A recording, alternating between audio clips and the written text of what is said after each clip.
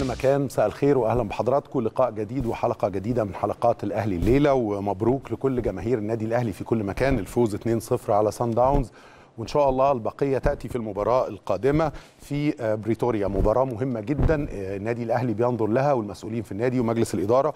الكل بيأخذ هذا اللقاء بمنتهى الجدية وبيتم نقل هذه الجدية إلى الجهاز الفني واللاعبين من خلال قرار بتولي الكابتن محمود الخطيب رئيس مجلس الإدارة رئاسة البعثة المتجهة إن شاء الله الساعة 11 ونص ليلا اليوم إلى جنوب أفريقيا.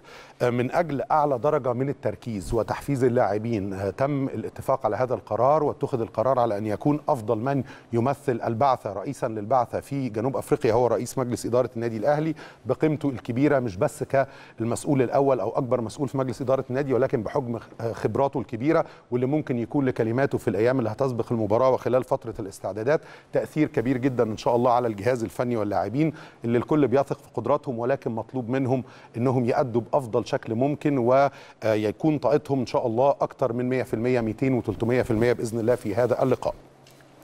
مباراة مهمة المباراة اللي الحمد لله فزنا بها 2-0 كانت مباراة فاصلة في مشوارنا الأفريقي. قدرنا نحصل منها على الهدف اللي أراد تحقيقه النادي الأهلي الفوز بفارق هدفين عدم دخول مرمانا أي أهداف أمور مهمة جدا. إن شاء الله لو أخذنا الأمور بنفس الدرجة من الجدية وأفضل ربما نحسم هناك أيضا في بريتوريا في مباراة العودة أمام سان داونز الجنوب أفريقي.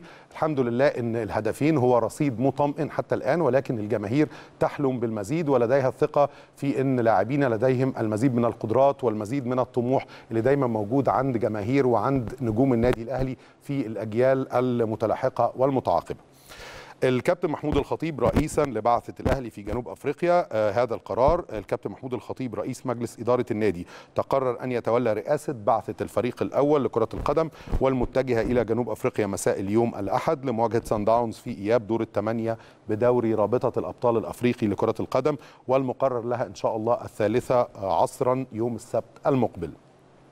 زي ما قلنا لحضراتكم إن هذا القرار من أجل أكبر درجة ممكنة من التركيز والجدية والتحفيز للاعبين ورفع الدوافع عند اللاعبين وطموح الفوز إن شاء الله وتحقيق أو العودة بنتيجة إيجابية أيضا من مباراة العودة اللي هتقام السبت المقبل في جنوب أفريقيا. وهذا القرار طبعا تم الاتفاق عليه ومن أجل تحقيق الهدف المنشود بتخطي عقبة سان داونز والحصول على بطاقة التأهل إلى الدور نصف النهائي بعد الجهد الكبير اللي تم في النادي الأهلي خلال عام ويزيد قليلا عن عام عام وتقريبا شهرين خلال فترات الانتقالات الثلاثة الماضية في فترة الانتقالات الشتوية ثم الصيفية في 2019 وفترة الانتقالات الشتوية اللي بدأنا بها هذا العام في يناير الماضي. كان من خلالها تم التوصل إلى عناصر متميزة جدا بإجماع الآراء. وإضافة وتغييرات كبيرة جدا في صفوف الفريق وما أطلق عليه في فترة سابقة إعادة هيكلة أو إعادة بناء فريق كرة القدم في النادي الأهلي. النهارده الجمهور شايف إن عندنا الدوافع، عندنا العناصر المتميزة، عندنا أكثر من بديل متميز في كل مركز، ده اللي بنتمنى دايما يترجم إلى نتائج وأداء متميز جدا زي ما إحنا شايفين في مشوارنا في بطولة الدوري الممتاز، إن ده ينعكس كمان بالإيجاب على مشوار اللاعبين وأدائهم وحسمهم للمباريات الأكثر صعوبة للمتوقع نواجهها في الفترة الجاية. سواء مباراة العودة في دور الثمانيه أو إن شاء الله في حال وفقنا في استكمال مشوارنا والفوز باللقب في لقاءات نصف النهائي ونهائي البطولة. وقام الكابتن محمود الخطيب بإجراء اتصال هاتفي بالطبيب المعالج له من أجل استشارته في الأمور الطبية وإمكانية سفره إلى جنوب أفريقيا في ظل طبعا استمرار شعوره ببعض الآلام أو المعاناة من بعض الآلام في منطقة الظهر. نظرا لطول رحلة السفر إلى جوهانسبرج واللي بتصل إلى أو بتتجاوز الثمان ساعات بالإضافة إلى الوقت اللي بيحتاجه أيضا الفريق ورئيس البعثة والبعثة مكتملة للانتقال من جوهانسبرج إلى مدينة بريتوريا اللي هتقام على أرضها المباراة. ونصح الطبيب المعالج رئيس النادي الأهلي بارتداء الحزام الطبي طوال فترة الرحلة لتقليل اذام آلام الظهر أو تقليل أي معاناة جراء متاعب السفر وطول فترة الرحلة. بعثة الأهلي زي ما قلنا لحضراتكم تم الاتفاق على أن تذهب مبكرا بعدد كافي من الأيام مساء اليوم أو ليلا اليوم الأحد قبل المباراة بحوالي ست أيام من أجل توفير كل درجات أو أعلى درجات التركيز والمساحة الكافية من التعود على الأجواء هناك في جنوب أفريقيا ودرجات الحرارة أو حالة الطقس وفي نفس الوقت التعود على ملاعب التدريب وأجواء البلد بشكل عام وعملية الأدابتيشن اللي بيحتاجها أي فريق أو التأقلم مع أجواء المباراة في الأيام القليلة اللي بتسبق أي لقاء. مصيري لأي فريق كرة القدم على مستوى العالم. بتتجه في الحادية الحادية عشرة والنصف مساء اليوم الأحد البعثة متوجهة إلى جنوب أفريقيا لمواجهة سان داونز يوم السبت المقبل. ويبدأ تجمع بعثة الأهلي في مطار القاهرة في التاسعة مساء اليوم استعدادا لرحلة جنوب أفريقيا. وشايفين قدام حضراتكم طبعا متابعة الكابتن الخطيب والمسؤولين في النادي وكل القائمين على الأمور مع مدير الكرة الكابتن سيد عبد الحفيظ مع فايلر المدير الفني ونجومنا نجوم الفريق الأول لكرة القدم في النادي الأهلي لأجواء التدريبات والحديث عن أهمية هذا اللقاء وأن هذه المراحل هي المراحل الفاصلة أو الحاسمة إن شاء الله في البطولة وهي اللي هتدي دوافع أكتر كتير. كل ما نقترب خطوة من التأهل إلى النهائي واللي بيكون فيه الدوافع في أفضل حالاتها وقت وصول النادي الأهلي بإذن الله إلى نهائي البطولة. في طبعا تفاصيل كتيرة جدا أمور فنية بالتأكيد متروكة للجهاز الفني بقيادة فايلر لا يتدخل فيها على الإطلاق مجلس الإدارة أو الكابتن الخطيب أو كل القائمين على الأمور الإدارية في النادي. ولكن في خبرات في خبرات ومشوار عمر في ملاعب كرة القدم للأسطورة الكابتن محمود الخطيب واحد من الأساطير الأفريقية والعربية وأسطورة كرة القدم المصرية بالتأكيد. وده بيكون له بعد وأمور كثيرة جدا يمكن أن يتحدث عنها من واقع ومن منطلق خبراته السابقة في البطولات على المستويين المحلي والدولي. فضلا عن طبعا رسالته اللي بيوجهها للاعبين باسم كل مجلس إدارة النادي الأهلي واللي بتحاول دايما تصل باللاعبين إلى أعلى درجة ممكنة من الحافز ومن الدافع لتحقيق المكاسب ولأنهم يكونوا على قدر تطلعات وطموحات جماهير النادي الأهلي في كل مكان داخل وخارج مصر ومحبي النادي الأهلي في كل مكان اللي عندهم ثقة وثقتهم كبيرة جدا إن شاء الله وبلا حدود في قدرات هذا الجيل على تحقيق الحلم الأفريقي والعودة للتأهل والمشاركة والتألق من جديد بإذن الله في كأس العالم للأندية.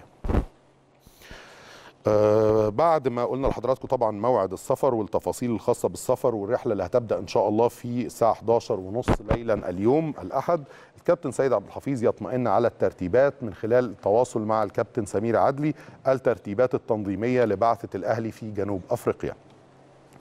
سيد عبد الحفيظ مدير الكرة في الفريق الأول لكرة القدم في النادي الأهلي أجرى اتصال هاتفي بالكابتن سمير عدلي المدير الإداري في الجهاز الفني واللي سبق طبعا بعثة الأهلي بيوم واحد سافر أمس السبت والمتواجد حاليا في جنوب أفريقيا من أجل الوقوف على والاطمئنان على كافة الترتيبات الخاصة بإقامة البعثة في بريتوريا استعدادا لمواجهة سان داونز الجنوب أفريقي. وأوضح عبد الحفيظ إن الكابتن سمير عدلي طمأنوا على كافة الإجراءات التنظيمية قبل وصول بعثة الأهلي خاصة ما يتعلق بحجز فندق الإقامة وملعب التدريب ووسائل الانتقالات وغيرها من الأمور التنسيقية أو الأمور الفنية واللوجستية الكتيرة جدا اللي بتحتاجها بعثة النادي الأهلي من أجل توفير أفضل مناخ ممكن أو أفضل أجواء ممكنة وأعلى درجة ممكنة من الجو اللي يساعد على التركيز والترتيبات الجيدة المنظمة اللي بتساعد اللعيبة على التركيز في الأمور الفنية وفي أمور كرة القدم فقط حتى يحققوا الأهداف المرجوة منهم وحسم أيضا المباراة القادمة إن شاء الله على ملعب المنافس ووسط جماهيره. طبعا الخبرات الكبيرة لها دور وكل واحد من الخبرات دي اللي بنتكلم عنها وقدامنا نجوم كبار وليد سليمان أحمد لا أصحاب الخبرات في صفوف النادي الأهلي. كل واحد منهم بيبقى له دور مهم في تحفيز اللاعبين الأصغر سنا أو الأقل خبرة لأنه طبعا واجه المواقف دي في سيناريوهات متكررة بشكل أكبر في الأعوام الماضية. خاض بطولات وحصل على ألقاب وبطولات سابقة مع النادي الأهلي الكابتن حسام عاشور كابتن الفريق طبعا ونجم خط الوسط لاعب الوسط المدافع طبعا صاحب الخبرات الكبيرة.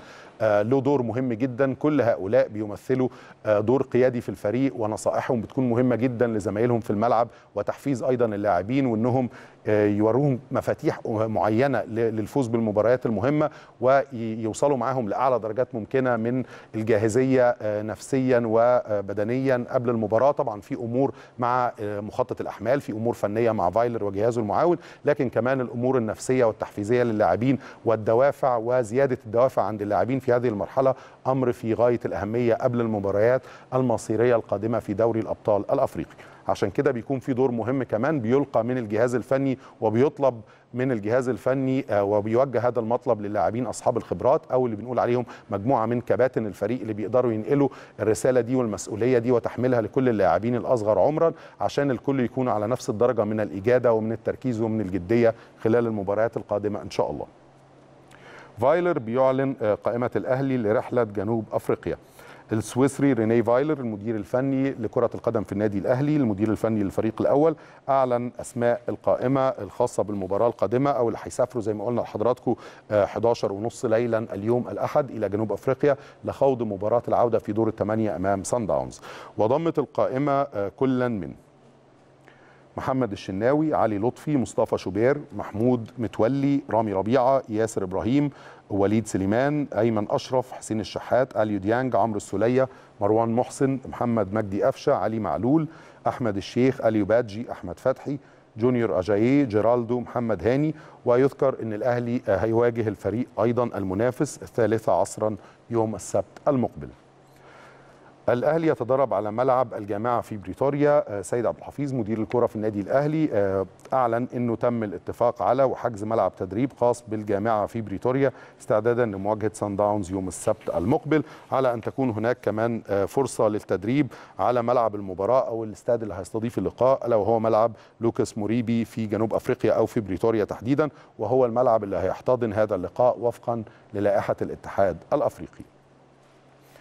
منتخب مصر للشباب يودع كأس العرب في نصف النهائي. خسر منتخب مصر للشباب أمام نظيره السنغالي بركلات الترجيح ليودع بطولة كأس العرب من نصف النهائي. وتعادل منتخب مصر للشباب في أحداث المباراة أو في الوقت الأصلي مع نظيره السنغالي بهدف لكل منهما قبل أن يتفوق شباب السنغال بركلات الترجيح. طبعا هذه البطولة بتضم بعض الفرق العربية وبعض الفرق الأفريقية أيضا ومنها المنتخب السنغالي وكنا نتمنى طبعا حظ أفضل وإن شاء الله هذه التجارب يستفيد منها بأفضل شكل ممكن نجومنا القادمين أو الأجيال القادمة منتخبات مصر على مستوى المراحل العمرية المختلفة الأقل سنا من ال first team أو من الفريق الأول ومنتخبنا الوطني الأول وهم اللي بيمثلوا بالتأكيد مع اكتساب خبرات أكتر مستقبل الكرة المصرية. دي كانت مجموعة الأخبار اللي بنبدأ بيها حلقتنا النهاردة وبعد قليل هيكون في حوار كروي عن كل ما هو قادم عن المباريات القادمة عن الفوز المهم على ملعبنا وبين جماهيرنا على سان داونز 2-0 في دور الثمانية لكن زي ما بنقول لحضراتكم الأهلي قادر بإذن الله وإن إحنا نكون بإذن الله في حالة ما كنا موفقين في اللقاءات القادمة عندنا لاعبين قادرين لو كانوا في أفضل حالاتهم أو في ال top form إنهم يحسموا اللقاء مع أقوى المنافسين وأمام الفرق اللي هي بتمثل أعلى مستوى من المنافسة في القارة الأفريقية أو في دوري الأبطال الأفريقي والقادم أفضل إن شاء الله وبنقترب خطوة خطوة من حلم العودة للريادة والصدارة الأفريقية والفوز باللقب من جديد ومن ثم التأهل لكأس العالم للأندية. فاصل ونعود وبعد قليل هينضم إلينا الناقد الرياضي المتميز ورئيس القسم الرياضي في صحيفة الأهرام الأستاذ محمود صبري.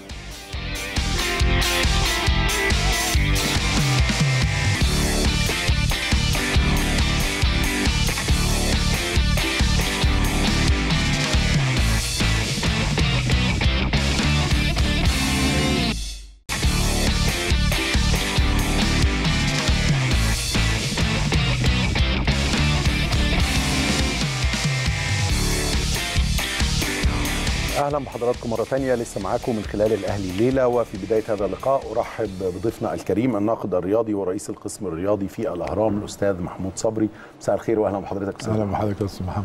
خليني أفكر أو أعمل تذكير سريع جدا للسادة المشاهدين ببعض الحاجات اللي قالها أستاذ محمود في الحلقات اللي فاتت. هو قلق جدا على الأهلي وعايزه يقدم أفضل مستوياته في البطولة الأفريقية. أستاذ محمود رغم حوارنا معاه في أكثر من لقاء سابق وحصول الأهلي الحمد لله على العلامة الكاملة في كل مبارياته في الدوري الممتاز حتى الآن إلا إن الأستاذ محمود من الأصوات اللي دايما بتقول لازم نركز على أدائنا خارج ملعبنا للمباريات الأفريقية وإن تاريخنا بيقول أو تاريخ النادي الأهلي بيقول إنه بيحصد الألقاب لما بيلعب خارج أرضه وبيعود بنتائج جيدة من المباريات المهمة مع منافس قوي خارج ملعبه. كمان كان بيتمنى الاستعداد بشكل أفضل وهو ما تم أيضا والتفت إليه النادي الأهلي والكل ركز على إنه تكون التجربة في ترتيباتها أفضل من التجارب السابقة أو النسختين السابقتين من دوري الأبطال. السفر مبكرا له حسابات هنتكلم عنها مهمة جدا. خاصة بالأمور الخاصة بالطقس والاعتياد عليه والارتفاع عن مستوى سطح البحر. وكل ما أشرنا في البداية أو في فقرة الأخبار إلى إنه بيدي مساحة أكبر من اللاعبين للاعتياد على أجواء البلد اللي هم فيها جماهيريا واعلاميا ومناخيا وكل شيء حتى يركزوا على كرة القدم وما تبقاش في أي عوامل سلبية مؤثرة عليهم. الأمور شايفها إزاي يا أستاذ محمود بعد الماتش اللي فات؟ بص هو طبعا مواجهة كانت صعبة جدا مع فريق أحد أبطال دوري أبطال أفريقيا في السنوات الأخيرة يعني بطل 2016 على حساب نادي الزمالك في مواجهة مهمة. أيضا فريق بصراحة من الفرق بتأدي كورة سان داونز بأمانة لازم تقف تحترم عقلية اللعيبة وعقلية المدير الفني اللي بيجي هنا ينوم ينيمنا بقى بالتصريحات الجميلة خلاص كشفناه يعني. من الكلام الحلو وإن يديك انطباع إنك أنت أحسن منه وهو بيرتب لك الترتيبه اللي عملها كذا مرة يعني. لكن أجمل شيء في في في ال- في المشهد الحالي إنه نقطة من أول السطر قرار السفر النهارده لجنوب أفريقيا قرار مهم جدا.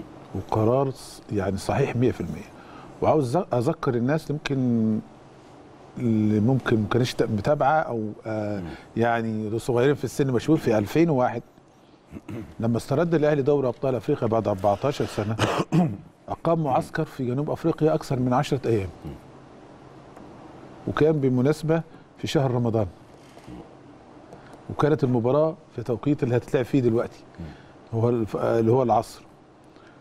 وكان في على الأقل ست لعيبة كانوا صايمين في المباراة دي. وكان صاحب هدف التعادل اللي هو كابتن سيد عبد الحفيظ. في مباراة كانت قوية جدا وشرسة جدا والأهلي فاز باللقب واسترده في في المرحلة دي. الاهلي مع صن داونز صولات وجولات. السفر دلوقتي وبرئاسة كابتن محمود الخطيب قرار صحيح 100% هسأل حضرتك عن الأمرين. هبدأ بترتيب. بترتيبات خاصة بالسفر مبكرا وأهميتها وسننتقل للحديث عن تولي الكابتن محمود الخطيب شخصيا رئاسة البعثة وتأثيرها المتوقع إن شاء الله على اللاعبين على مستوى الدوافع والحالة النفسية والجدية والتركيز.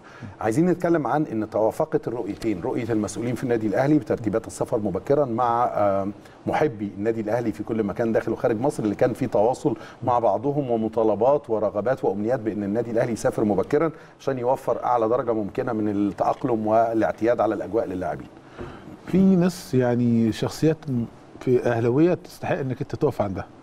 تستحق إنها تاخد حقها. ويمكن على رأسها من وجهة نظري أنا كمتابع وأعرفه بصورة شخصية السفير ياسر مراد.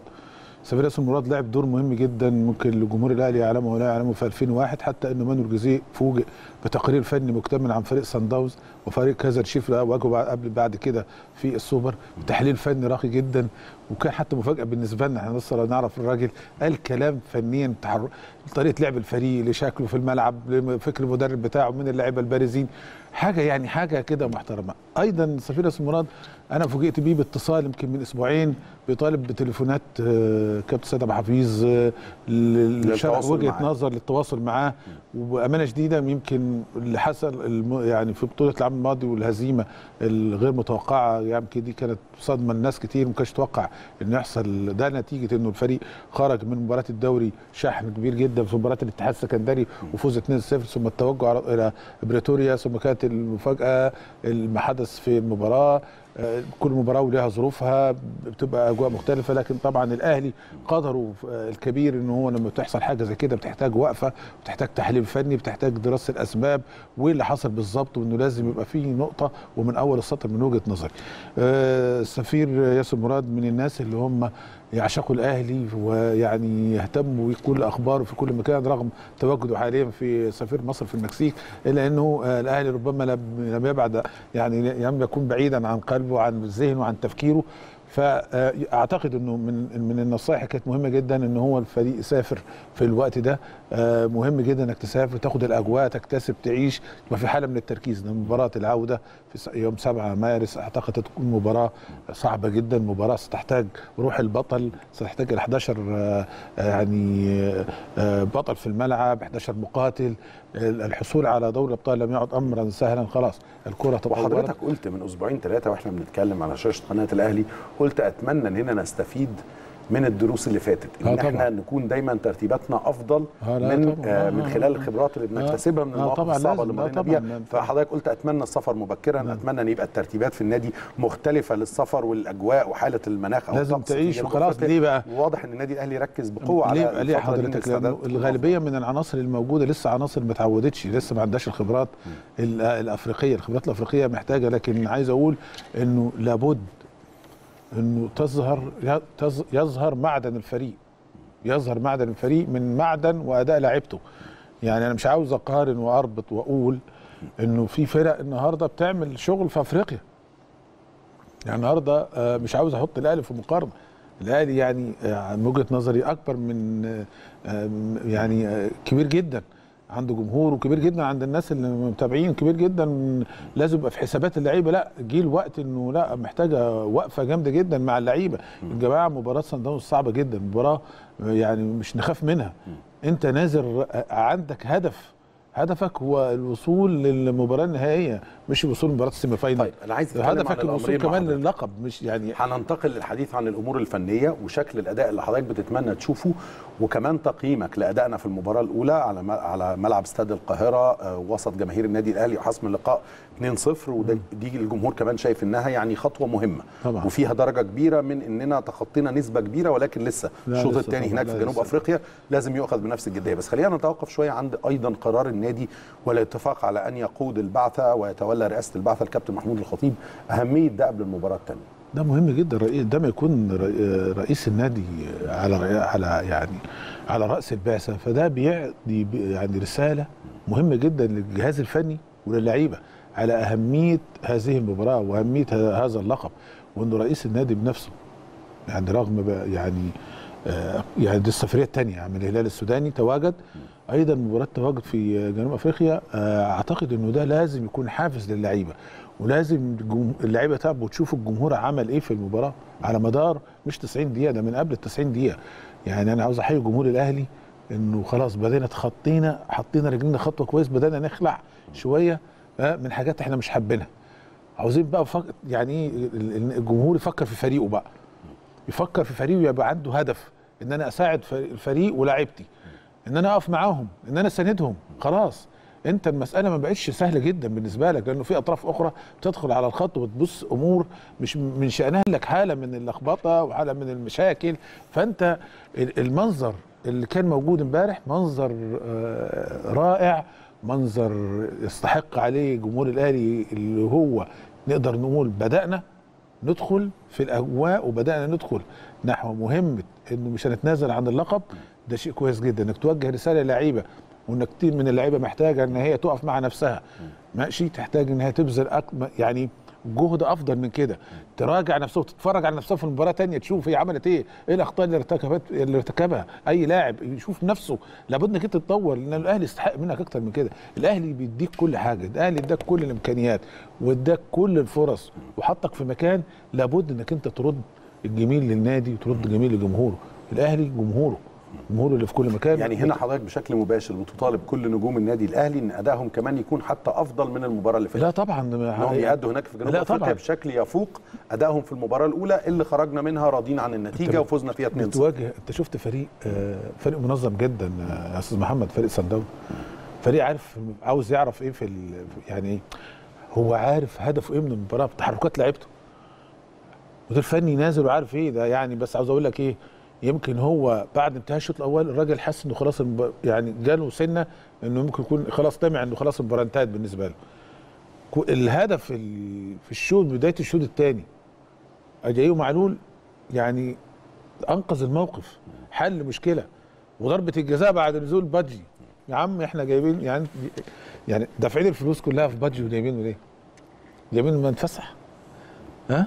لا مش جايبينه يتفسح ده لازم يبقى أساسي. يعني عاوز الناس عاوزة تشوفه. ده أنت جايبه في أفريقيا عشان يعرف يوا- يواجه اللي إحنا شايفه. لما نزل حصل ماشي. الراجل مثلا ممكن تبقى ماشية معاه. إديله فرصة.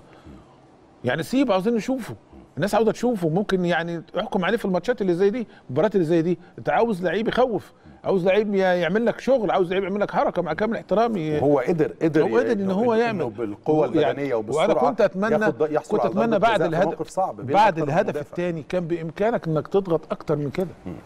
يعني مش هنتدخل في شغل المدير الفني بس الناس كان عندها إحساس نفسها في الثالث الثالث كان هيديك ها إحساس بالأمان. برضه. خلاص يعني الفرق آه. بيزيد آه كل هدف الفرق بيزيد وثقة بيزيد الفريق في بيزيد المباراه الثانية. ولكن لكن إيه؟ برضو انت عندك كل مثلا الوداد والنجم 2-0 الرجاء ومازيمبي 2-0 خلاص؟ الزمالك والترجي 3-1 الأهلي وصن داونز 2-0 أصحاب المراكز الثانية في المجموعات هي اللي عملت ها المفاجأة على أصحاب إيه؟ المراكز الأولى. مواجهة العودة بالنسبة لكل دول هتبقى صعبة. كلنا على ملعبه. هنا سيظهر يا أستاذ محمد معدن الفريق البطل اللي عنده قدرة على تحمل التبعات وإظهار قوة الفريق وجماعية الأداء في مواجهة خصم شرس على ملعبه وسط جماهيره. خصوصا إن حضرتك بتقول إن لسه الشوط الثاني ولسه الفوارق بهدفين آه. بتخلي في دافع عند الفريق اللي هو في مباراة العودة اللي آه خسر المباراة آه. الأولى. أنت عندك داخل المباراة. داخل المباراة. اعتبرك داخل المباراة 0 0 يعني لازم يبقى عندك دافع إنك أنت مهمتك الأساسية إنك تصل إلى إحراز هدف. ده هيحتاج شغل كبير جدا من الجهاز الفني وجراءة وقوة من اللعيبة. اللي هي عدم الخوف. يعني انك تتجاوز وتكسر الحاجز النفسي مثلا في الشوط الأولاني وع- وعدم إصابة مرماك بهدف ده بيديك خطوة مهمة جدا إنك أنت تتمسك. يعني مش عايز أقول مش عاوزين نكرر اللي حصل في مباراة الهلال السوداني. يعني إحنا مركزين مركزين وضيعنا فرص. يعني فرصة لضياع كهرباء كان خلصت الماتش 2-0 مستريح. يعني يلام على كهرباء فيها الحاجات اللي زي بره بتيجي مرة واحدة.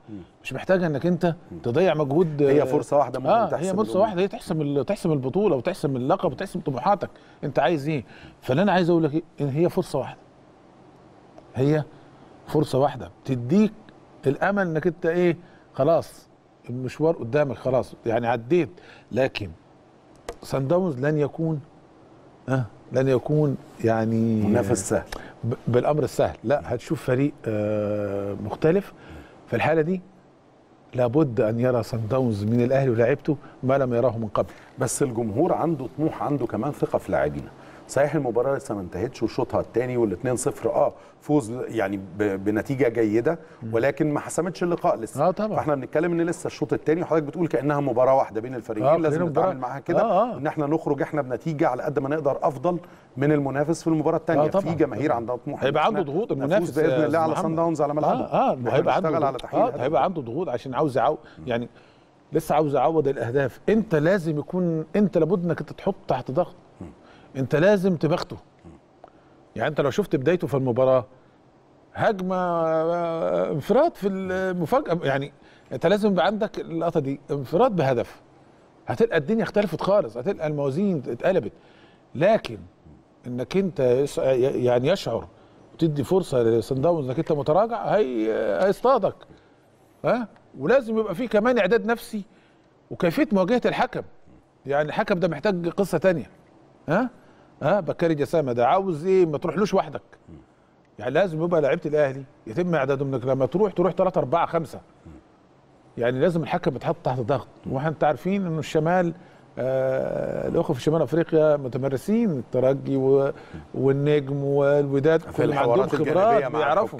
فلما تروح. لوحدك الحكم لا لازم يبقى عندك خبرات ولعيبه تبقى ايد واحدة في الملعب. يعني إيه؟ بتحصل حاجة مشكلة بس في حوار مع الحكم عن أي قرار في جدل آه عليه أو خلاف عليه لازم يبقى في دون حد- أي بس باحترافية. ما لا، ما لازم هو- نوضح دي يعني نكرر الكلمة دي إنه باحترافية شديدة عشان ما نخسرش جهود يعني أي ما- لاعب في ما المباراة. ما هو أنا أقول أي لك وأنا بقول لك أنت روح اضربه. لا طبعا الاهلي لا لا, لا يمكن مين هيوافق على الكلام ده. لكن بقول لك إيه ما ما يعني أقول لك ما تخليهوش يصطادك. يعني لازم تبقى حذر وما تخافش منه يبقى عندك جراءة.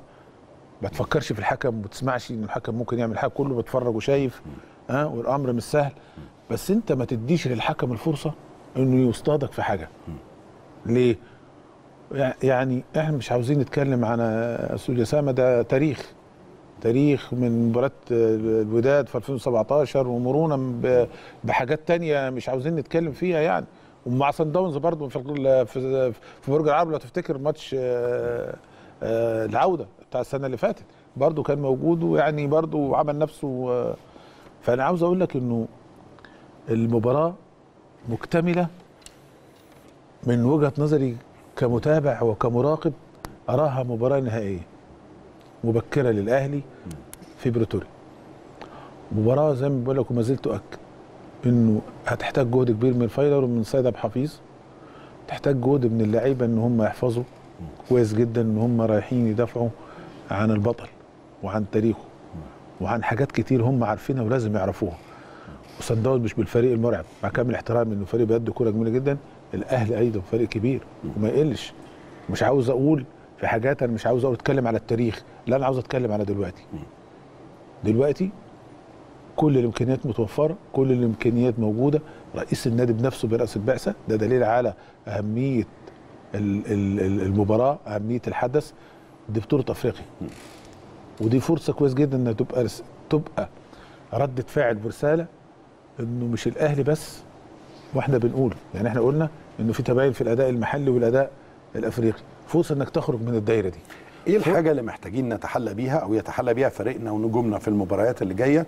وصولا بإذن الله في حالة إذا وفقنا في الوصول للنهائي والفوز بالبطولة واللي كنا بدرجة ما مفتقدينها في النسختين أو ثلاث نسخ اللي فاتوا من البطولة. إيه الحاجة اللي حضرتك شايف إنها لازم تبقى موجودة في الملعب في كل مباراة بنؤديها وبتفرق جدا مع الأهلي في النتائج وفي الأداء؟ استغلال الفرص. استغلال الفرص عدد الفرص. لو رجعنا بالذاكرة وشفنا نهائي 2017 ونهائي 2018 هتجد الفرصة في. في في المباريات الكبيرة الفرصة ثمنها ذهب. يعني إذا أهدرت فرصة والتانية خلاص. أنت خرجت بره المباراة. المنافس هيستفيد. في مباراة النهائي في 2017 هنا في برج العرب شوف عدد الفرص اللي أهدرها مهاجمو الأهلي في بداية المباراة في بداية الشوط الأول في المباراة. في بداية الشوط الأول لا يقل عن سبع أهداف. كان نتيجتها إنك أنت حرزت هدف آه وأصيب مرماك بهدف التعادل. خلاص؟ في المباريات اللي زي دي لابد أن يعلم لعيبة الأهلي إنه دي مباراة الفرصة والنصف فرصة وربع فرصة.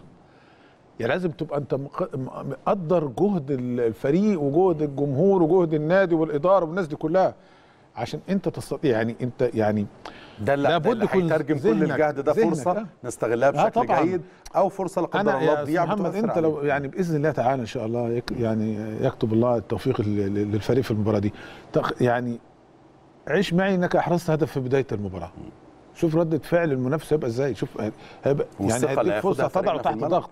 خلاص. يديك فرصة إنه ممكن تجيب الثاني لكن أنت لو أهدرت فرصة والثانيه هو خلاص اقتنع إنك أنت مش قادر فهيستضيف هي هيزيد ضغطه على على إذا الفريق.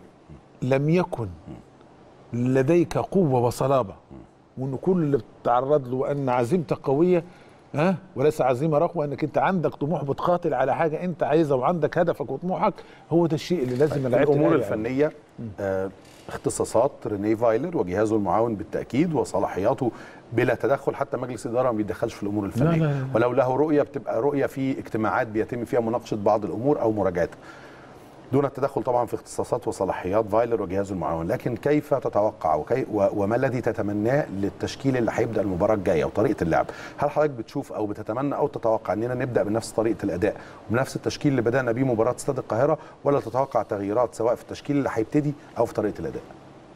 لا بص طبعا النواحي الفنيه هو أقدر هو اللي عارف الفرقة. يعني عشان نحترم كل واحد بيأدي شغله هو عارف قدرات لعيبته وهو عارف عايز المباراة محتاجة منه إيه؟ محتاج إنك أنت تكسب وتتجاوز الدور الثمانيه الوصول لل semi-final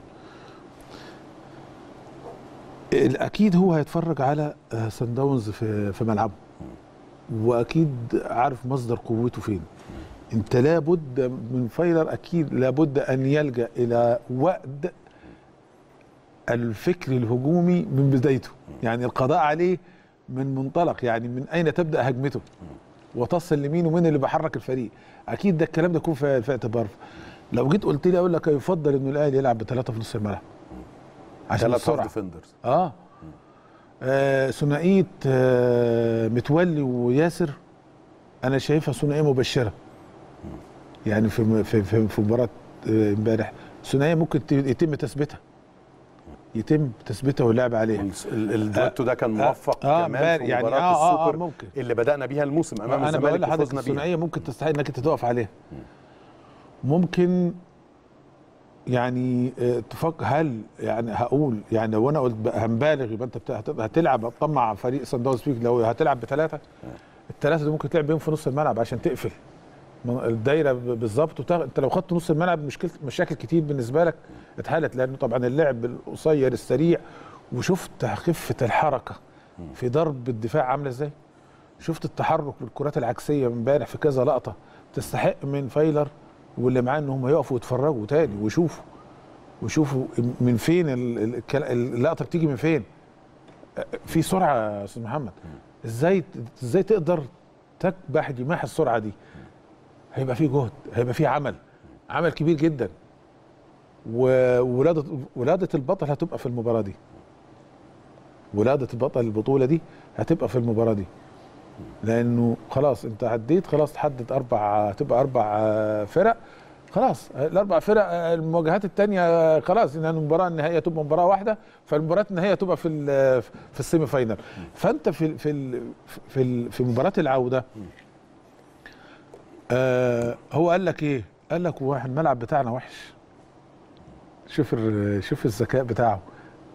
والملعب بتاعنا وحش ومش عارفين نعمل إيه هيعمل لنا مشكلة. شوف بيصدر لك بيشغلك بحالة هو عارفها. اتفرج وراجع بذاكرتك للأهداف اللي جت في أول نص ساعة في مباراة السنة اللي فاتت. شوف كلها كور إيه؟ ها؟ كلها كور. عرض عرضية وعكسية. خلاص وتحرك من بين يا من الأطراف يا من القلب. ها؟ الوضع في فرقة الأهلي اختلف عن يعني الموسم الماضي في ملامح فرقة بيتم بنائها. وما زلت من وجهة نظري ومتماسكة فنيا. لها شكل وقوام الفريق. متماسك مقارنة آه، اللي ما أنا فاتت بالله طبعا. يعني بت بتقول حاجة في الملعب. يعني في شكل. بس برضو ما زلت عشان ما حدش يزعل مني بقول البناء لم يكتمل. لسه اللعيبة محتاجة جهد أكتر من كده. يعني قفشة محتاج جهد أكتر من كده. يعني رغم إنه اتحرك امبارح وحاول لابد التصويبات يكون فيها دقة أكتر من كده. لابد يكون في تعاون من جانب حسين الشحات. لا يعني محتاج تركيز أكتر من كده. حسين يعني يعني مش عارف يعني أعتقد يا مرهق يا مجهد آه، لا محتاجة لا محتاجة سرعة. مش محتاجة إنك ما فيش تفكير. يعني يعني لازم تلاحظ حاجة الأهلي يمكن السنة عمل ال1 2 سريعه ال1 2 سريعه في مباريات كتير عملت معاه فرق مهم جدا كمان في النقطه الخاصه بمجدي قفشه يا أستاذ محمود لأنه مجدي قفشه dribbler كويس قوي بي- بيراوغ كويس وبيقدر يعدي من أكتر من back فلو بيقدر يوجد لنفسه مساحات كويسه فلو تسديداته كانت آه، متقنه بقول هتعمل فرق ما أنا بقول. لك محتاج مساله يشتغل على نفسه يعني الجهاز الفني يشتغل مش عاوزين نقول مدربين اللي قبل كده عملوا إيه مع لعيبة وكان بيطوروهم بيجي- بيجيبوا بدل ما التمرين الصبح بس كان بيجيبوا تمرين بعد الظهر وبيقعد يحفظ فيه. ما لازم مش عاوز أقول يوم كامل والكلام لا المدير الفني أكيد شايف. وتقدر يا جماعة يعني الأهلي كبير مش يعني آه في قلق من مباراة العودة آه لكن اللعيبة نفسها لازم عندها إحساس ثقة في نفسها إن هي تستطيع إنها تتجاوز. بشكل عام آه، بتطالب ب- ب- يعني. باستخدام مهارة التسديدات على المرمى ال- أكتر؟ زي ما إحنا متفقين يا أستاذ محمد. الفوز باللقب يبدأ من بروتري إن دي المباراة الفاصلة بقول بالنسبة للأهلي في البطولة. آه لا لا لا لا. دي من وجهة نظري من أصعب المواجهات للأهلي. المواجهات النفسية. مع فريق عمل معاك نتيجة ها صادمة. طب ده عاد ده عادي في كرة القدم ما أي فرق. ما مازيمبي فاز على بس في- مازيمبي في فاز بعض على الترجي بتسمع حضرتك دلوقتي مازيمبي فاز ممكن- على الترجي 5 0 مازيمبي مش عارف مين خسر 5 1 مش عارف عاوز أقول لك إيه في هزائم بتكون نقطة انطلاق ها لمرحلة جديدة. وفي هزائم ممكن تنزلك تحت.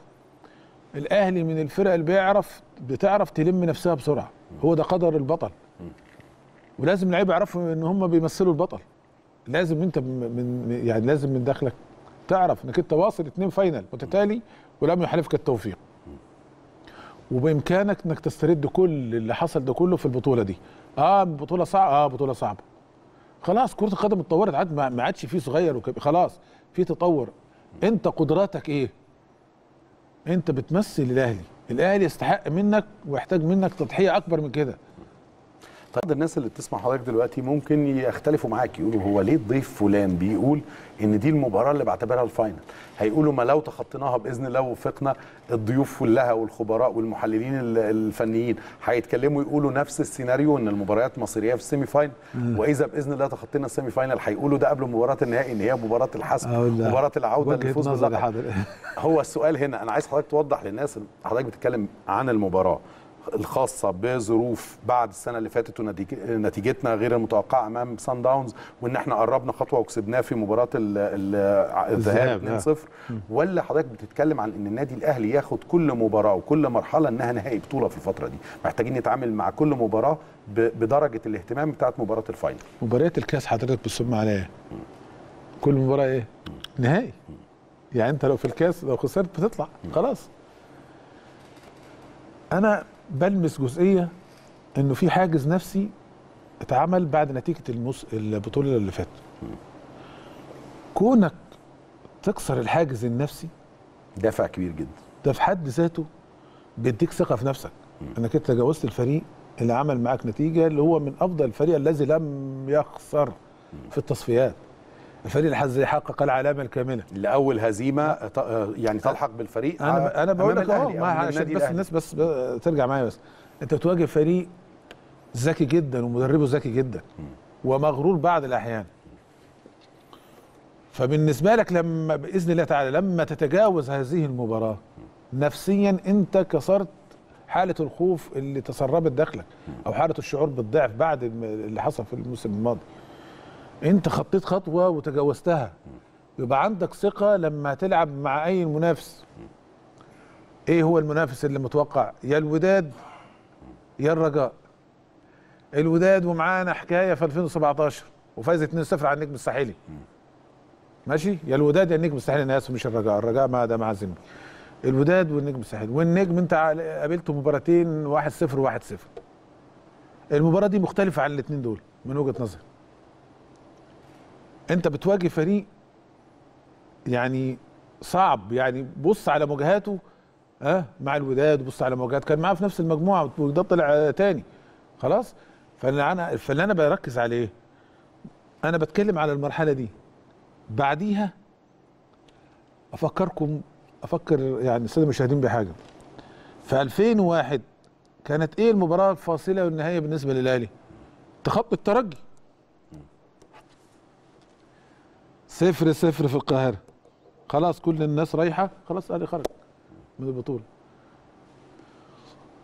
كورتين في القائم كرة في العارضة من إبراهيم سعيد وفرص ضائعه وخلاص وانتهى الموضوع. صح؟ في الدقيقة 37 من الشوط الثاني اتولد الأمل ولا ما اتولدش؟ صحيح. ها؟ بكره غير متوقعة ومباغتة ومفاجأة ومحدش شافها غير وهي في الجول. أنت أخلصت في مباراة الذهاب. ربنا كفك في مباراة العودة. واجتهدت كمان في أنا مباراة بكلم- بقول لك أهو، العودة. أنا بقول لحضرتك لا، اجتهدت وعملت- جدا على مرمى أنا بكلمك. أهو. واجتهدت وعملت نتائج ودي كانت نقطة انطلاق بالنسبة لك. إنك إيه تحقق نتيجة إيجابية مع الترجي وقتها ترجي يا دولة. كان هدف في ملعبه. خلاص. هم نفسهم. كان هدف غير هدف. فاللي أنا بتكلمه كان دايما مباراه مواجهات الأهلي والترجي فيها نقطة صدام نفسيا. فأنت النهارده لما تيجي مع سان داونز وتكسر الحاجز النفسي وتعدي دور الثمانيه ال semi-final أنا بقول لك الوضع هيبقى مختلف في الدور قبل النهائي. ليه؟ ال ال الوداد أو النجم هيبقى عندك طريقة تعامل مختلفة. هيبقى عندك استعداد أو خلاص في عندك ثقة نفسيه أنت اكتسبتها. إني استعدت شكل آه. أداء الفريق البطل اللي آه. بيقدر يكسب أنا المنافس بقول لك القوي على آه. ملعبه خلاص استعدت ب... استعدت الشخصية بتاعتك اللي كانت تايهة منك وأنت بتدور عليها. لبستها. تاني. هنا يبدأ اللعيبة اللي لسه يعني مش عاوز أقول ما عند لا يعني مش عاوز ما عندهمش ما عندهمش الخبرة الأفريقية بس ما خلاص أنت لازم تعرف إنك أنت بتمثل النادي الأهلي ما عادش ينفع. يعني النهارده مثلا بيراميدز بيلعب في الكونفدرالية عمل نتيجة كويسة جدا النهارده 3-0 في في مباراة الذهاب. عامل نتيجة كويسة. بأمانة شديدة يعني. والمصري هيلعب النهارده الساعة 9 برضه في الكونفدرالية مع نهضة بركان. وعنده يعني نتمنى له يعني نتمنى إن تبقى مباراة يعني كويسة. كل ما يبقى كل ما يبقى في أندية من مصر متواجدة في الأدوار النهائية كل ده يصب في صالح المنتخب الوطني. اللي عندنا طموحه انه يودينا كأس عالم ويودينا كأس أمم أفريقية ويبقى عامل لنا شكل. فاللي أنا عايز أقول لك مباراة سان داونز مباراة مهمة من وجهة نظر وتقدير. يعني مع كامل احترامي الاي يعني الآراء الأخرى أنا شايف إذا استطاع الأهلي يخرج بنتيجة إيجابية فسيكون اقترابه من اللقب إن شاء الله باذن الله تعالى بنسبة كبيرة أستاذ محمود اللي أنا فاهمه كده بين السطور من كلام حضرتك وصحح لي يعني إن حضرتك كمان طموحك بيتخطى فكرة إن أنا أرجع بنتيجة إيجابية مثلا بالتعادل أو إن أنا أخرج بنتيجة إجمالي لقاءين يكون في صالحنا ونوصل semi final حضرتك طموحك أكبر من عاوز كده. أكسر حضرتك الحدوتة دي. بتتمنى استعادة شخصية البطل من خلال فوز وأداء رائع أفضل من سان داونز على آه ملعبه طبعا لا إن ده اللي هيرجع أو هيعلي الدوافع جدا عند اللعيبة إن شاء الله وثقة جماهيرهم إن شاء الله. انت لما تكسب سان داونز في رد. فعلها هيبقى عامل إيه؟ طبعا ثقة كبيرة جدا. صح؟ صحيح هيبقى آه، رسالة لمين؟ هيبقى رسالة للمنافسين في. الأدوار اللي جاية ما برضه العوامل النفسية والضغوط هتبقى رسالة للمنافسين فده شيء مهم جدا يعني أنت رايح وعندك هدف ونقطة ومهمه جدا في صن داونز إنك أنت تكسب مش رايح عشان تلعب عشان مجموع المباراتين وتلعب على تعادل. أنا عايز أكسب المباراة دي آه كبطولة لا أنا عاوز أكسب. المباراة. دي مباراة فاينل وأنا أعتبر صفر صفر هنا وأنا رايح المباراة. اللي هيفوز بالمباراة ده ياخد اللقب أنت لازم تتعامل بالمنطق ده كمان في المباريات الكبيرة اللي زي دي. يعني مش عاوزين نرجع للتاريخ. بقى- طب يعني إحنا قلنا قبل كده نجيب ناس تقول التاريخ وتشوف يعني مش عاوزين نقارن بال- بالأجيال المختلفة. الكورة بتتطور والنهاردة آه، الأهلي من خمس ست سنين كان عنده فرقة آه، الجيل الذهبي كسر الدنيا وكسر المونديال. اللي حاليا يقدروا يعملوا كده. بمزيد من الجهد والعمل والإخلاص والشغل و... وأصوات الجماهير دي اللي وراهم في كل مكان والناس اللي بتدعي لهم والناس اللي بتتمنى لهم التوفيق الأهلي يستحق يكون في مكان أحسن من كده. وحضرتك شايف إنه هيبقى مفتاح الوصول للقب إن شاء الله أو على الأقل من للنهائي مباراة على إن أنا. أحسم المباراة آه هناك من نتيجة. مباراة. أنت هتلاعب يعني مش عاوز فريق مش هو يعني مش عاوز أقول لك مش المرعب انك تخاف منه لا فرقة كورة. فلازم تلعب معاه كورة. ولازم تثبت إنك أنت البطل. وإن البطل إذا ترجى يعني كده ونزل من على صهب الجواد وإنما ده بياخد بيلتقط انفاس ولا يستعد للانطلاق. جه الوقت إنك أنت طيب تستعد بعيدا, بعيدا عن. المباراة دي بس خليني أتكلم مع حضرتك بشكل عام عن السيناريوهات اللي بتبقى أمام أي مدير فني في سيناريو مشابه. آه. مش هنا بتكلم عن الأهلي بس أو عن فايلر بس. بتكلم إنه هل المدير الفني في أي بطولة أو أدوار إقصائية متفوق 2-0 في الماتش الأولاني ومباراة العودة؟ هيلعب مباراة بنقول إنه عايز يحقق فيها نتيجة إيجابية. هو عنده عدة سيناريوهات توصله لل semi final المنافس ما عندوش إلا سيناريو واحد. طبعا. هل ساعتها المدير الفني بيغامر بنفس درجة الفريق اللي خسر المباراة الأولى ولا أحيانا بيلجأ لبديل من البدائل المتاحة قدامه إنها توصله؟ طبعا. طيب هقول لحضرتك. هي مباراة العودة بتاع السنة اللي فاتت. انتهت مش 1-0 بهدف آه، وليد أزارو صح؟ كانوا عاملين إيه معانا؟ سيناريو مختلف خالص سيناريو معتمد على الهر... وعملوا هجمات مرتدة في منتهى الخطورة خلاص؟ وده أهدروا أكتر من فرصة وإحنا ضيعنا وفي حاجات من الحكم ويعني إيه المساله كان في مشاكل الناس كان في مشاكل. كتير وكان يعني الناس كان عندها أمل إنه يحصل وكان كان يحصل بس الكلام ده إيه يعني آه يعني ما كانتش كانت يعني ن- نسبة استعداد قليلة للمباراة. جداً لو آه موجودة يعني آه كان ممكن تعمل نتيجة كويسة 3 0 2 4 0 كده لكن فرقة كانت عندها حالة فوران فريق سان داونز وجاي منتشي وما اكتفتش بالفوز. الكبير في المباراة الأولى وانت نفسيا متوتر وبتاع و... حضرتك عايز الأهلي يلعب كده المباراة الثانية لا، يكتفيش بالفوز 2-0 هو فايلر بتبان برضو قيمة المدربين الكبار في هذه المواجهات. هرجع للتشكيل. هل أنا تتوقع. أو تتمنى إن إحنا أنا نبدأ يعني بنفس الشكل؟ بص مش مسألة؟ أتمنى. آه. هو مسألة أتوقع. هو اللي هيقدر يحدد شكل الفريق لكن هو التشكيل اللي لعب بيه في مباراة الذهاب كان اختيار موفق في العناصر اللي هو حط. ممكن يكون تفكيره إنه يلعب بثلاثه في نص الملعب دي برضه هتبقى لحاجات هو شايفها. آه ممكن يلعب بنفس التشكيل ويغير مثلا يقول لك أغير راس حربة وألعب مثلا ممكن يقول لك ألعب بثلاثة وألعب من غير راس حربة ألعب بقى إيه زي ما هو بي آه، أو ممكن مثلا مروان ممكن يبقى إيه؟ أليو بادجي ممكن ممكن يبقى عنده كذا تفكير هو هيبقى عنده سيناريو ليه؟ لأنه هيتفرج ويشوف أكتر من مواجهه لسان داونز على ملعبه وسط جماهيره بيبقى عامل إيه؟ في المواجهات ال- الصعبة اللي زي دي. يبقى تفكيره إيه؟ وممكن يعمل إيه؟ ويفكر كمان فيه عندنا ميزه إيه. ان محترف جديد في صفوف الأهلي زي أليو بادجي.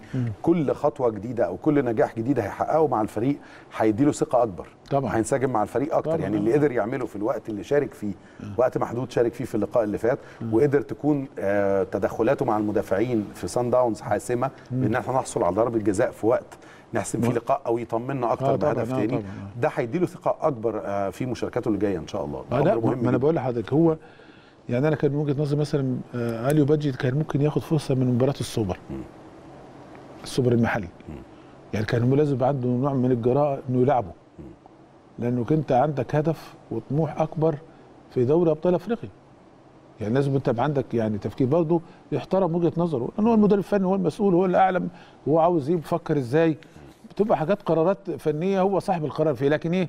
أنا ممكن أقول وجهة نظري وهو يعني هم هو صاحب القرار هو اللي يسأل عن الكلام ده.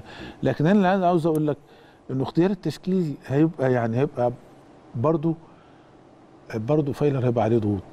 برضو هيبقى فيه حالة قلق. برضو يعني تد يعني نتمنى إن شاء الله إن التوفيق يكون حليف اللعيبة في اليوم ده. يبقى اللعيبة في حالتهم. يعني يعني يعني لازم يبقى في حالة من التركيز انت تعيش تخلي ذهنك خالص بره أي شيء. إن دي مباراة بالنسبة لك دي مباراة الطريق للبطولة. ما لو ما كسبت السان داونز وما تخططوش تاخد البطولة إزاي؟ يعني آه، هتحلها إزاي؟ لا ما ينفعش. هي مشوار البطولة كله دلوقتي المباراه آه من اللقطة دي خلاص ده أنت بتحط رجل بقى في الدور قبل النهائي بقى نفكر بقى تفكير تاني. أنت خلاص يعني دخلت المرحلة دي إن شاء الله يبقى يعني الضغط يقل عليك يعني مش بيزيد. لأنك أنت تجاوزت الم- ال- ال- في مدرسة بتقول دايما يا أستاذ محمود ما تنشغلش بأي حاجة بره فنيات كرة القدم ولا تنشغل بالحكم ولا عوامل ضغوط ولا جما- جماهيرية فريق سان داونز على ملعبه. كل الناس بتقول إن اللاعب المحترف اللي يقدر يفصل نفسه عن كل ده ويفكر في كرة القدم بس في الملعب ويشتغل على الأمور الفنية والتكليفات المطلوبة منه بس. هو ده ومفيش يعني أي بص- بص- عوامل بص- خارجية بص تؤثر على بص. يا أستاذ محمد بص في في في الفترة ال- في الفترات اللي فاتت اللي الأهلي يعني تسيد فيها الأمور سواء على الصعيد الأفريقي وعلى الصعيد. قليل قوي ما يعني عاوز أقول عاوز أقول لك إيه؟ الإدارة نفسها كانت ترفض يعني إيه المساس بالتحكيم. يعني ما ما يحبوش أي حد يحتك بالحكم. يعني اللعيب اللي يخرج عن النص ما هو ده بيمثل ضغط على الفريق وبيعمل مشاكل ويخرجه من حالة التركيز. أنت دورك كلاعب إنك تؤدي عليك تؤدي اللي عليك في الملعب. المفروض كده. فأنت ال- المباريات اللي المباراه اللي زي دي هتشغل نفسك. بان بكاري جسامه ممكن يبقى ضدك خلاص أنت خسرت المباراة. أنت لازم تجبر الحكم إن هو يبقى معاك.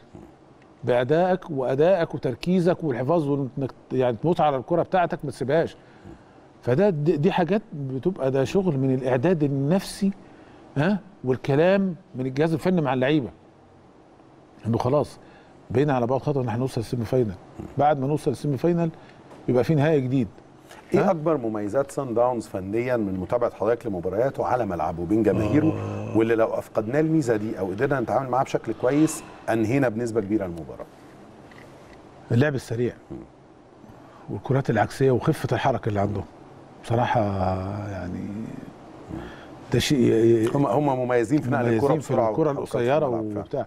لا يعني هتحتاج منك جهد كبير يا أستاذ محمد.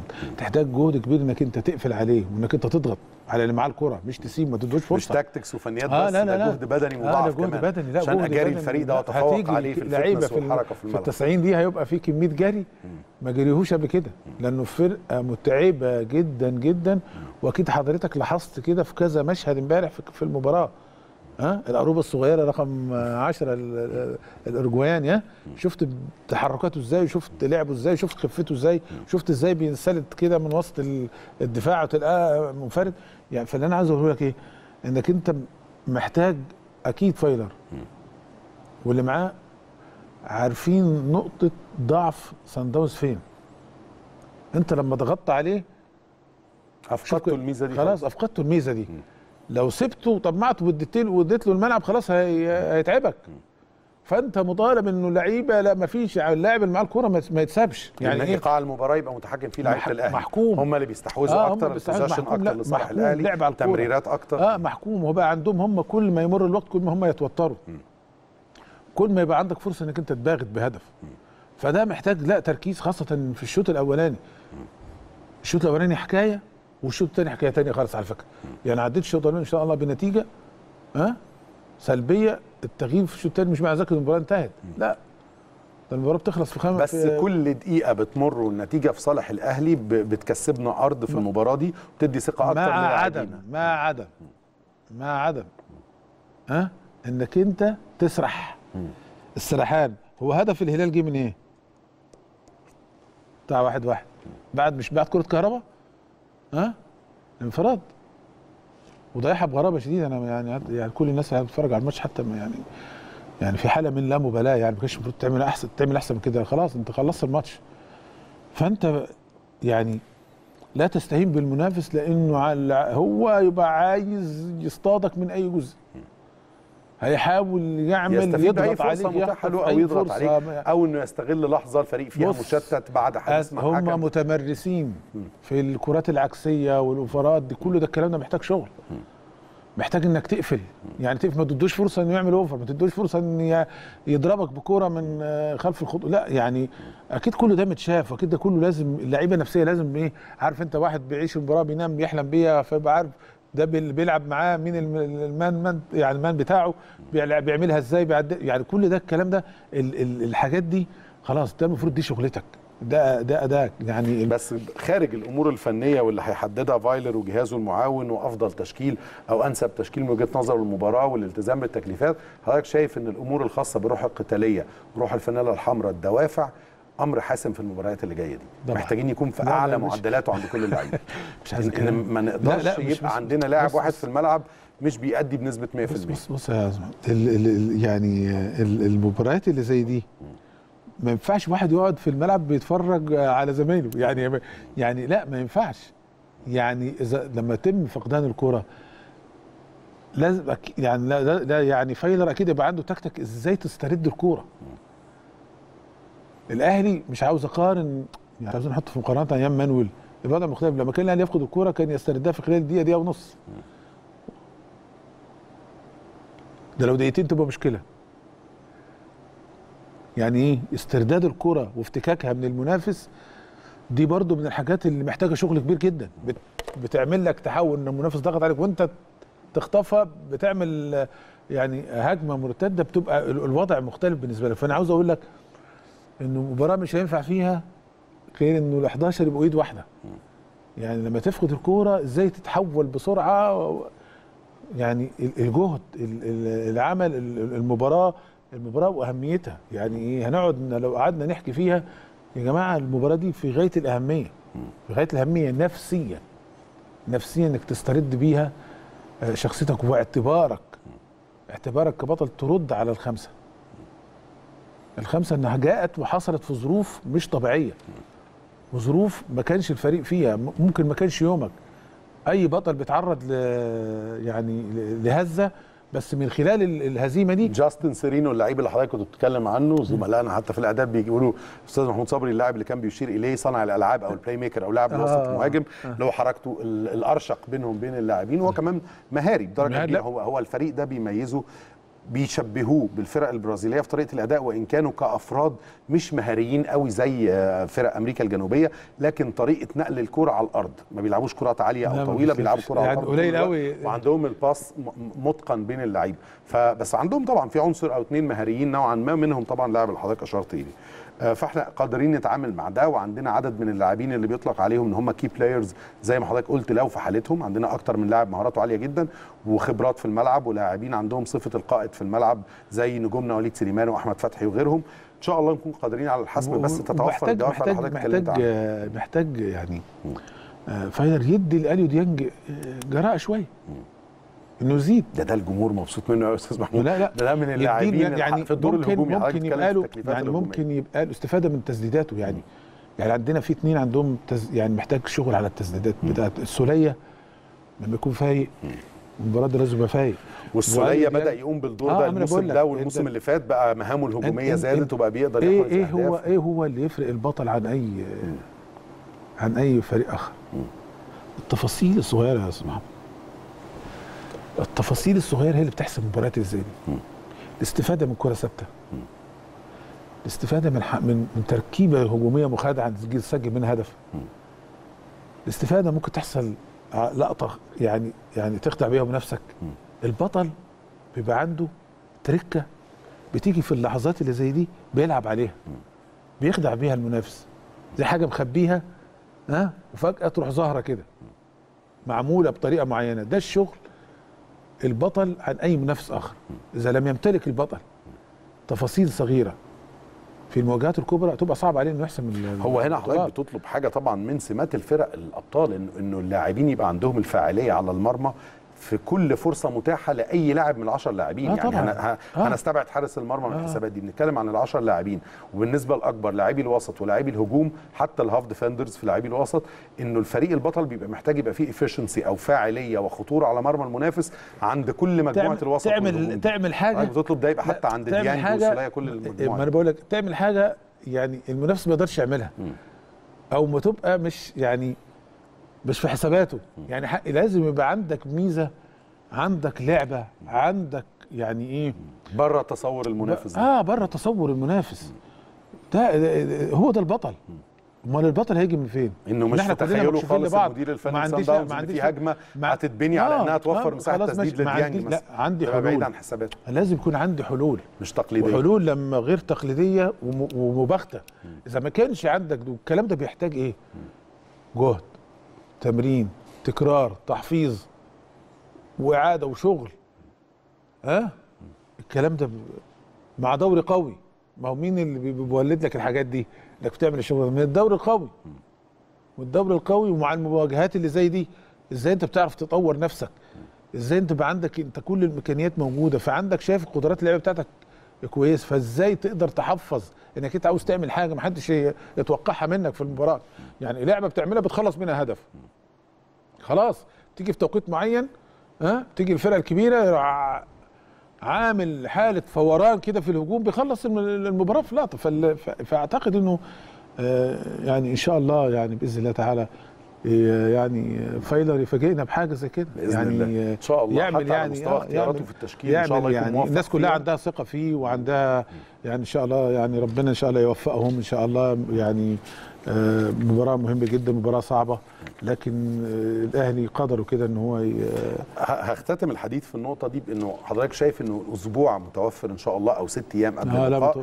حضرتك شايف أنه مع وجود الكابتن الخطيب رئيسا للبعثة مع كل الأمور اللي أكيد هيركز عليها الكابتن الخطيب في حواراته مع اللاعبين خلال فترة الاستعداد مع الجهاز الفني التوجيهات اللي بعد مناقشات هتتم بينه وبين آه، فايلر والكابتن سيد عبد الحفيظ وكل الجهاز المعاون آه، أعتقد أنه أكيد هيبقى في مساحة لنقل الخبرات دي للاعبين والد- والدوافع والتركيز على أنهم يبقوا كلهم في أحسن حالاتهم في طبعاً. تركيزهم وأدائهم البدني كمان في الملعب. أكيد هيبقى في حرص على ده إحنا كنا عاوزين نعرف بس آه، آه، فايلر الراجل قال له إيه لما بعد ضربة الجزاء قعد مسك ودنه ما آه ما حدش عارف الحوار الجانبي ده.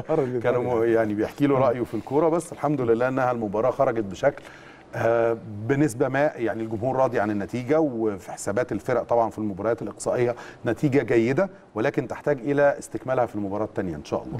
بص شفت الجمهور عمل إيه؟ الكورة من غير جمهور ما, ما لا ما ما فيش الروح فيها. يعني يعني خطوة كانت مهمة جدا وكان نفسي إن الاستاد يبقى فيه 70000 سواء هي سواء في مباراة الزمالك سواء في مباراة الأهلي سواء في أي مباراة. النادي الأهلي طلب. خلاص يعني يعني, عاوز أقول إيه؟ خلاص يعني بدأ. الجمهور يستجيب. وبقول وجمهور الكورة يا جماعة أنت رايح تشجع فرقتك. يعني من الصالح إنك تدافع عن فرقتك مش رايح تضر فرقتك. يعني الناس تقعد بس يعني الشباب يفكروا. أنت عاوز بتحب الأهلي بتحبه إزاي؟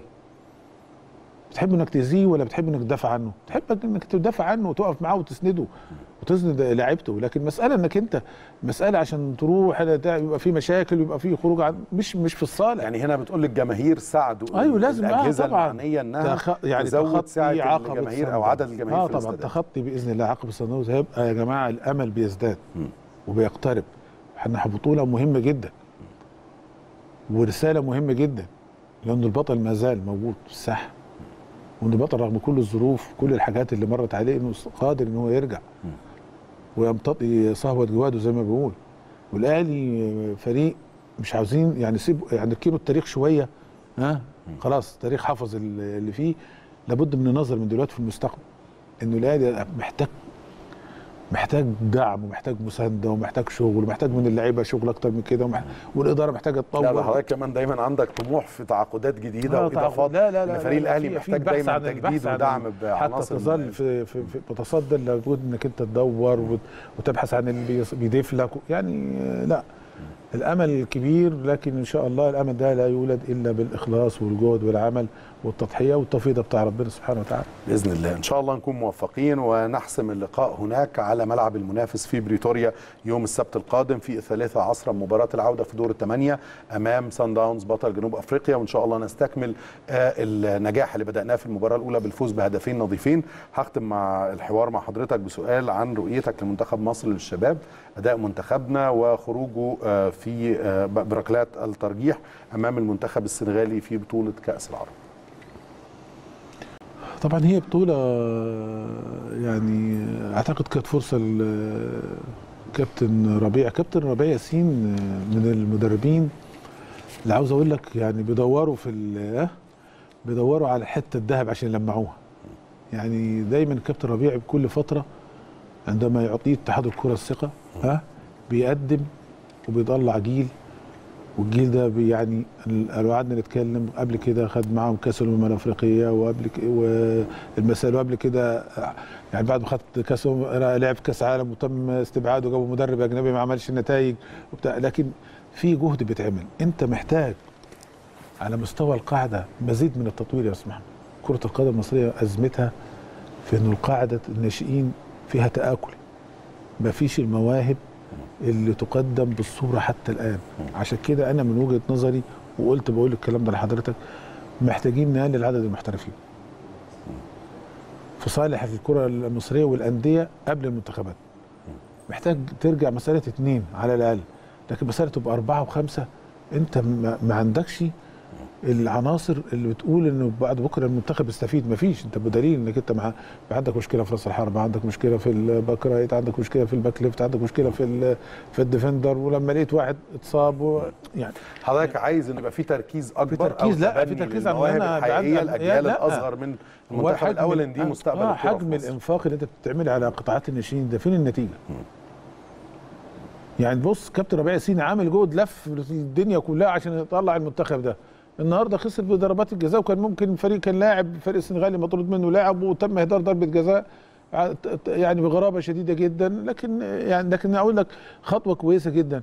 أنت بتدور وبتدي فرصة لكن مساحة قاعدة الناشئين محتاجة أكبر من كده. عدد الممارسين المنتخبات لازم نظهر في البطولات الأفريقية تحت أي شكل لأن كل ما يبقى عندك منتخبين ثلاثة بيروحوا يلعبوا في أفريقيا في أجيال بتطلع في لعيبة بتتشاف. قول لي من بعد آه، محمد صلاح ومش عارف وكوكا ونيني مين المحترفين اللي طلعوا بره؟ فين؟ مفيش هي. تريزيجيه يعني حالة واحدة لا ما هو تريزيجيه. لا ده تريزيجيه محترف من. بدري أنا آه بكلمك لا طبعا اعتبرته بنتكلم لما بشكل عام، مش لا, لا اعتبرته لما. راح الدوري آه، الإنجليزي إنه ده كان احتراف في الدوري. التركي آه طبعا آه برضه محترف من فترة اما أنا. بقول لك لكن أنت لما تيجي تبص على عدد المحترفين عدد المصريين بشكل المحترفين عام محدود طب. عدد الناشئين في الأندية بتاع الدوري الممتاز هتعدهم على أطراف الصوابع اللي هم يعني إيه عليهم العين. مفيش. ما تلقاش حتى في المركز في الراس عموما. هقول لحضرتك سريعا إحنا منتخبنا عشان لو حضرتك عايز تقول عنه تعليق أخير بعد الإشارة والإشادة بجهد الكابتن ربيع ياسين المدير الفني التأهل كأول مجموعة برصيد سبع نقاط والفوز على منتخبات الجزائر 4-1 ثم السعودية تعادل 2-2 ثم فلسطين الفوز 4-2 ثم بعدها فاز على منتخب العراق 1-0 وتأهل لهذه المباراة وتم اقصائه أمام المنتخب السنغالي بركلات الترجيح يعني حضرتك بتأكد على أهمية الحفاظ على ودعم المنتخبات الواعدة اللي فيها عناصر مميزة. وإعطاء مساحة أكبر للأجيال الجديدة اللي هي بتقرب من سن ال first team على مستوى الأندية والمنتخبات. الأجيال اللي هي في سن 17 و18 دي وقود أو مستقبل والمدربين. يعني انت أنت عندك دلوقتي كابتن ربيع متخصص في الجزئية دي.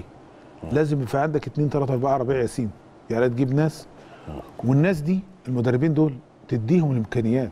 17 وتديهم- سنة لسه زملائنا بيقولوا لنا كمان عشان حضرتك تعلق عندنا أصغر محترف مصري في كرة القدم حاليا بلال مظهر بيمثل نادي باناثينايكوس اليوناني طبعا من الأندية الشهيرة في اليونان وفي أوروبا بشكل عام وعنده 17 سنة ولسه لم ينضم لمنتخب الشباب. يعني في عناصر كمان ممكن تبقى إضافة لمنتخب الشباب في الفترة الجاية. كلام جميل. أنت محتاج إيه؟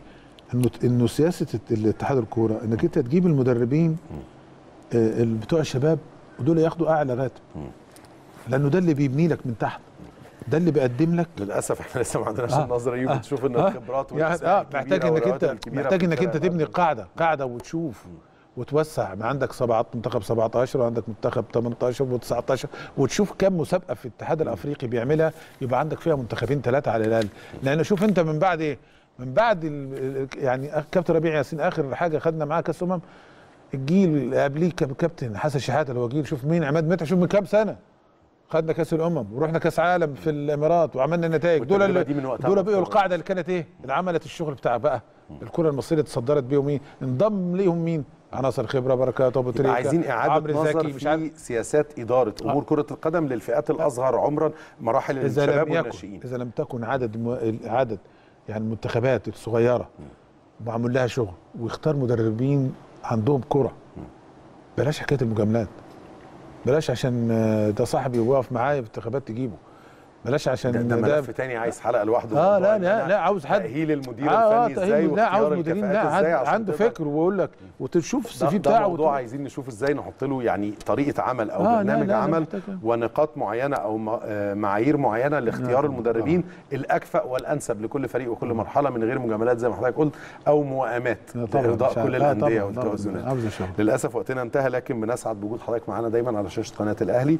آه، بشكر حضرتك الناقد الرياضي ورئيس القسم الرياضي في الأهرام. الأستاذ محمود صبري شكرا جزيلا. شكرا لك مشاهدينا بشكر حضراتكم على المتابعة. القادم أفضل إن شاء الله وقادرين بإذن الله نجومنا وجمهورنا عنده ثقة بلا حدود في قدرات فريقنا بإذن الله. وبعثة النادي الأهلي المتجهة الساعة 11 ونص ليلا بتوقيت القاهرة اليوم. بعد قليل إن شاء الله المتجهة إلى جنوب أفريقيا إلى جوهانسبرج ومنها إلى بريتوريا لمواجهة سان داونز المهمة في مباراة العودة في دور الثمانية في دوري الأبطال الأفريقي والتركيز والجدية في هذه البعثة اللي بيتولى رئاستها رئيس مجلس الإدارة الكابتن محمود الخطيب. كل التوفيق لنجومنا في مباراة العودة عصر السبت القادم إن شاء الله. بشكر حضراتكم على المتابعة وإلى اللقاء.